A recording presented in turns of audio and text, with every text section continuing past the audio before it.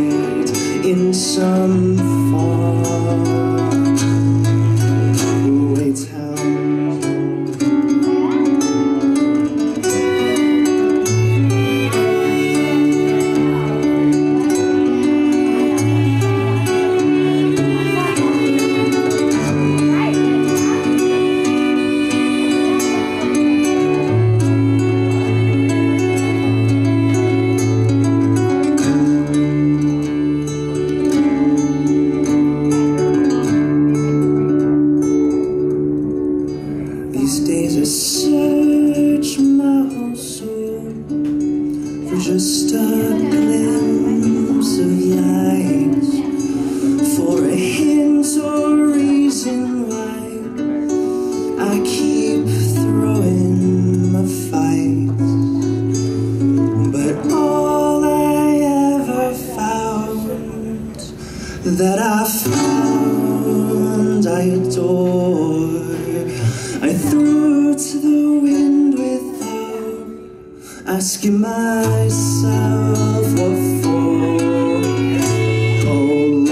some men. Do you regret your decision now?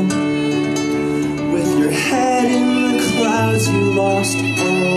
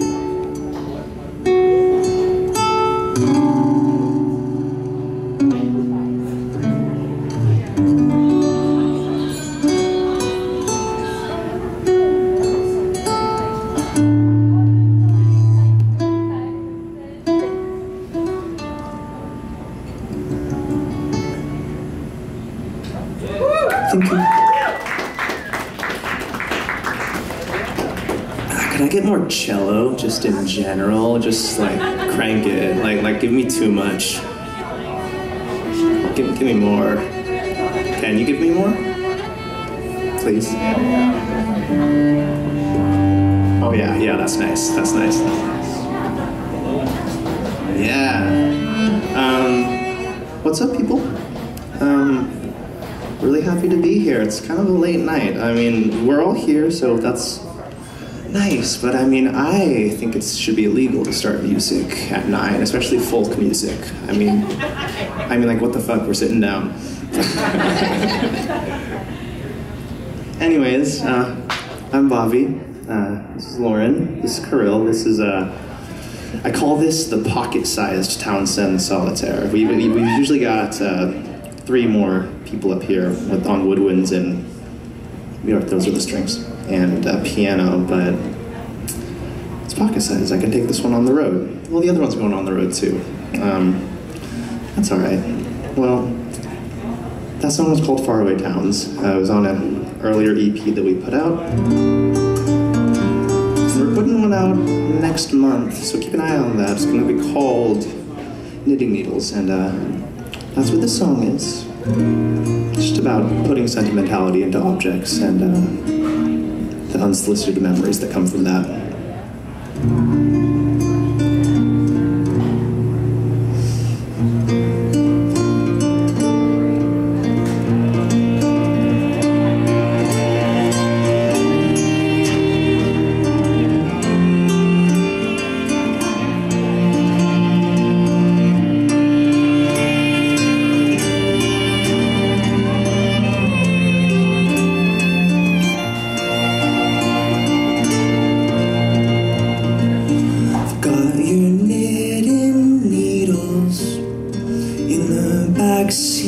Of my car. I've got some more dried roses sitting by my TV in a mason jar.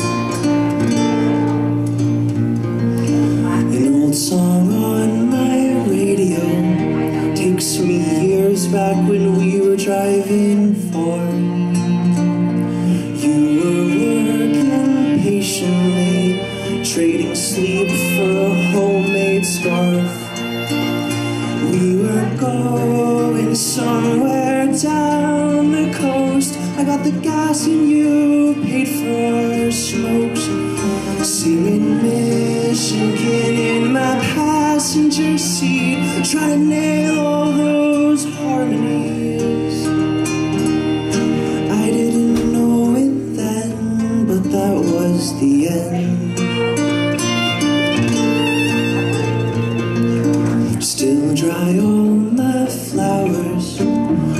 upside down like you taught me our first fall.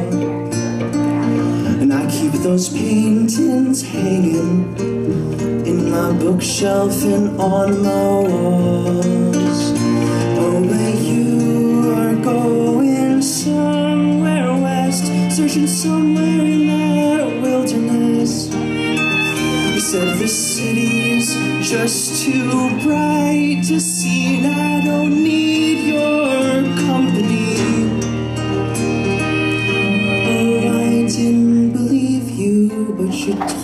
truth.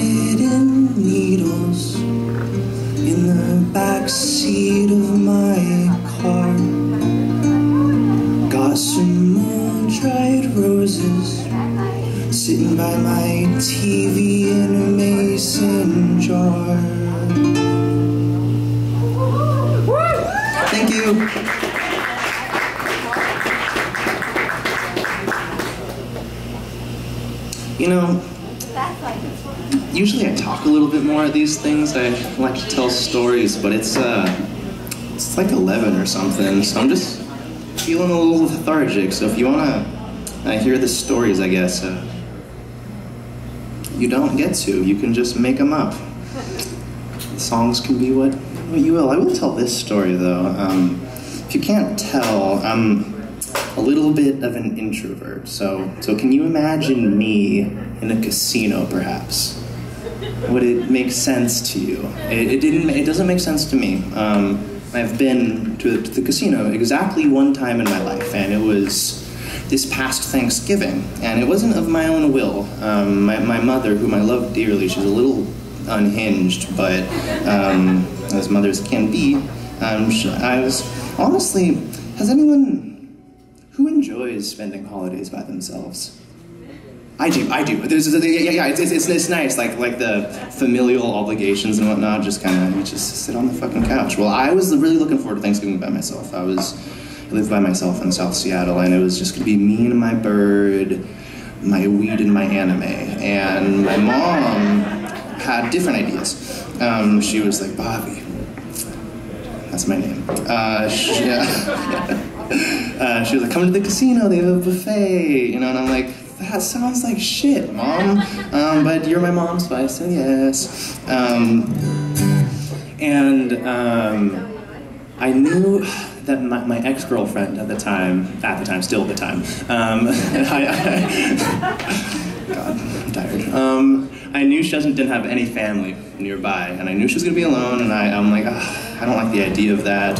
Um, so I'm like, come to the casino with me on Thanksgiving. And for some reason, whenever uh, her and I hung out, uh, we always talk about why our relationship failed. And that's just like, like why, why, do I do that to myself? Why do we do that to ourselves? So we're just in the parking lot of the Snoqualmie Casino smoking a joint, and I'm just like crying. I'm like, ah.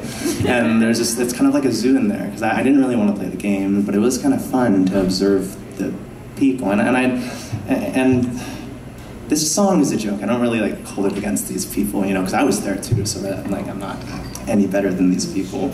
Um, but it was bizarre, and I wrote, wrote a song. But actually, uh, my mom watched a video of the song recently, and it's about you know it's about her. It's about that. She's like, Bobby, what the fuck was that?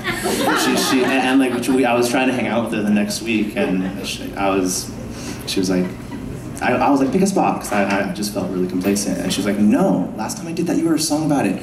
And you got a really high quality video of it. Um, joke's on her, I'm gonna write a song about wherever we go. Um, but, uh, anyways, this one is called, oh, a little bit less cello in the monitor. That was, that was fucking great. Um, just, just a tiny bit less. anyways, this one is called 20-something uh, Blues. something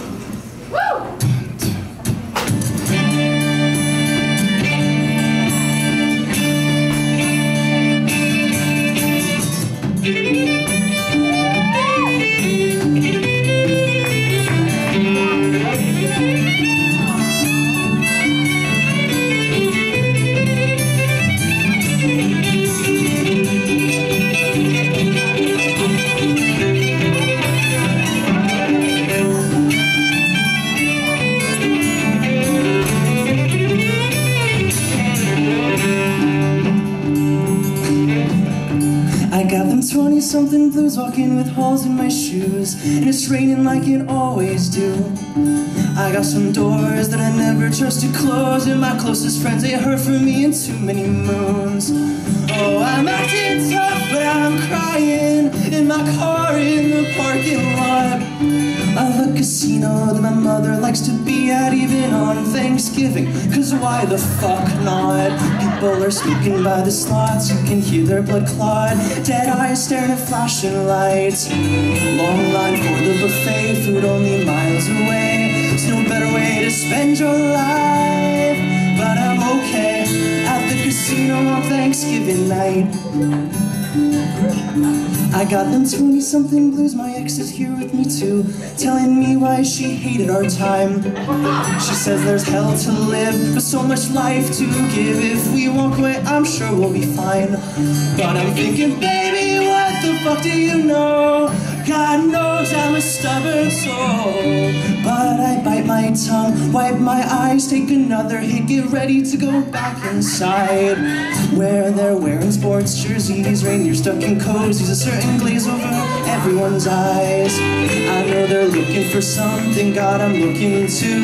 Do they see the same look in mine? Cause we're all the same at the casino on Thanksgiving night.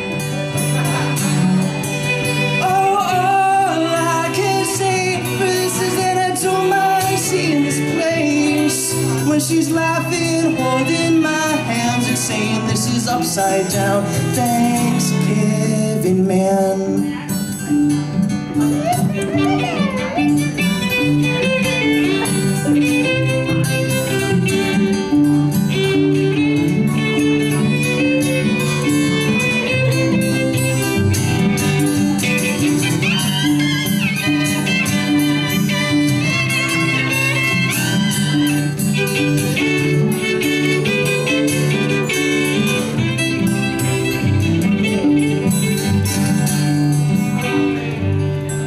Them 20 something blues and a therapist too. Good old Julie, she's setting me right. I made some friends with medicine and enemies, then that go by the name of Abilify. My brain is saying, baby, what the fuck did you do? I've grown to love our stubborn blues. Don't go straight in our whim for all that silly level head when I wanna keep feeling sorry for you. We can smoke by the slots, happy with their blood clots. Bloody Marys at 3 p.m. Take our baby to the bar, Person will smoke alarm. That holiday casino grand. Cause it's Thanksgiving, and the casino is where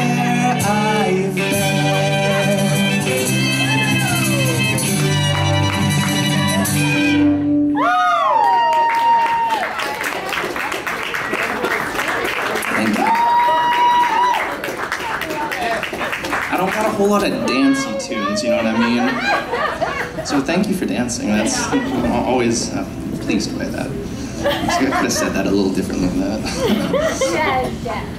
Anyways, um, I meant to say this earlier, but uh, you know it's March third right now. Um, and Seattle, Seattle's been really kind to me. About uh, a year and two days ago, I played my very first show as a songwriter. Really, I, I played a little bit in my master's degree down in Ashland, Oregon, where I was uh, studying marimba. But it, it was it was in lockdown. I was much more scared than I was even at my very frightened first show, and it's you know it's been a really fun year. And I'm glad that you're all here. I'm glad that that I'm doing it. And uh, my favorite part about Seattle, you know, it's it's cheesy, it's on the nose, whatever, but it's like the people here are really kind and genuine. And I thought it was fake at first. You know, I, I wait. I was like six months into playing out. I'm like, there's no way that they're gonna keep on being this nice to me. And they were also really talented too. Or like, I thought the veil would would, would uncover. And um, just before I started playing shows here, I saw this guy play. I used to work at the Royal Room uh, in Columbia City. Arthur James, if anybody knows him, he's he's he, he's the man. And he just what he does on stage is he speaks about grief and loss in such a way that is like accessible, relatable, just kind of freeing for those of us that have experienced grief, which most of us have. Um, and just I don't know. Uh, there's no like easy way to get into this part of the set, I guess. And I guess I could probably not do this after the Thanksgiving song, but like, go, go on. Okay, good. Um, get, get the laugh out. 13 years ago, my my family and I lost my older brother to cancer, and I write songs about it. You know, and I, I kept that stuff really near and dear and protected after I left the small town of Graham, Washington that I grew up in, because when something like that happens in a small town, everybody knows. And I'm like, some some kid in seventh grade walked up to me Uh, I was in the eighth grade after it happened, and I didn't know this motherfucker. And he's like, "Your brother died, right?" And I'm like, "Fuck you! I, what, like, what gives you the right?" um, but anyways, you know, Arthur gave me the you know, courage to you know speak about it and whatnot, and. Eric was talking about, sorry, the long spiel, stay with me. Um, Eric was talking about the funny week that we've all had, and or some of us have had, and my week's had kind of funny, empathetic grief. Maybe funny is a, a wrong word, but um, I'm, I'm, leaving tomorrow for two weeks to go to Bali, where my mother was born, um, because my mom's older brother passed kind of over the last week, and she want and I want to be there for her. I want to support her, and it's a really interesting kind of grief because it's like it's my mom. She went through the same thing as me as a mother, but it's like almost more accessible for me as a kid to, or her son, to just like, oh, I know exactly what it feels like to have my older brother die. And so it's a, and I didn't even know the guy very well, so it's like just me feeling for my mom. So it's a funny, it's a funny feeling. So it gives, this, this song is called Dear Chris. A slightly different, a slightly different angle uh, you know, I used to write letters to Chris after he passed, and this is one that I wrote on Father's Day this year after a while. And my mother's in Bali right now, so I don't know what time it is there, but I'll be there soon. Anyways, here's Dear Chris.